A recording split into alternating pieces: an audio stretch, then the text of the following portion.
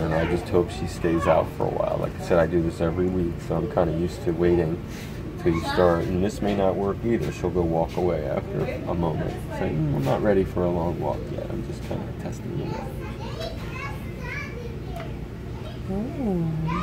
it's so beautiful in the sun though. So the beginning, when I would come late in the day, I never got to be, see the Yeah. beautiful like The light going through that tail Right. is amazing. Exactly. That kind of stuff was totally new to me. That day I came for the birthday it was like eye opening. I was like, oh my gosh. So you like to come out in the middle of the day.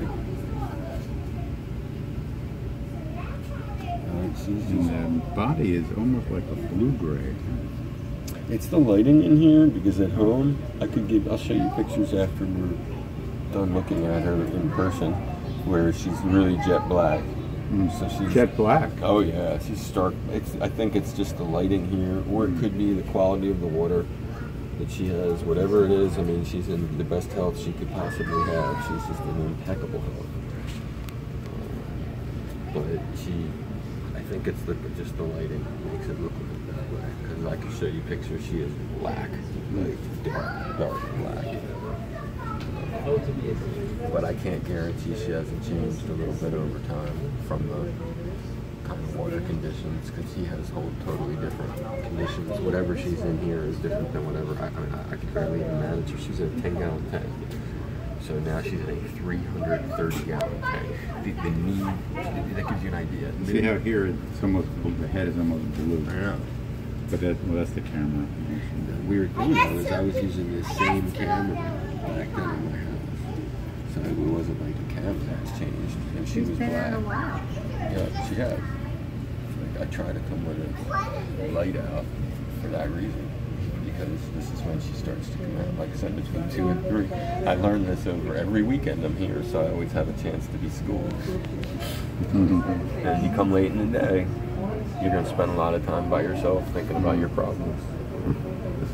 Because Jaws is not gonna be out Oh, there. she doesn't come out at all late in the day. I mean, give out 30 seconds, Oh. minute, whatever. this is long. This is long. Right, that's why, that's why I put the time in to come in early because that's very rewarding. I mean, they all know that it's in the video. And these other fish go, I want. I Oh, totally. They know what's going on. be in the video. When well, when I come late in the day and I'm out here talking to her, begging her to come out because I'll talk to the empty tank and say, "Jaws, come out. Daddy's here.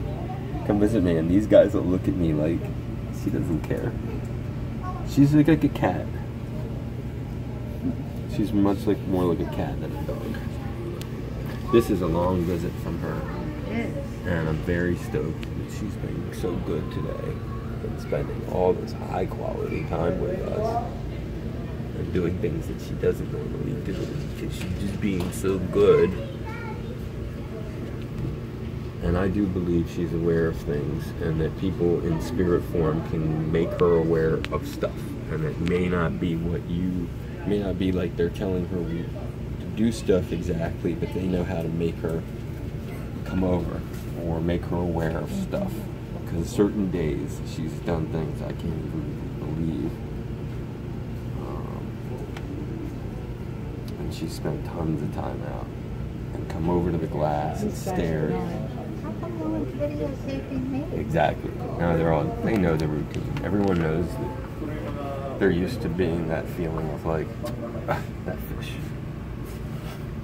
What makes her so special?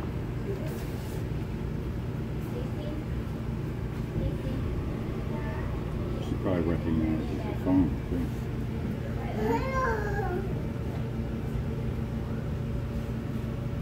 Well, they take really good care of her.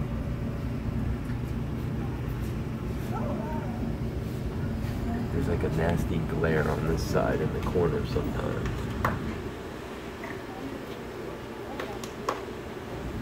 She looks so happy.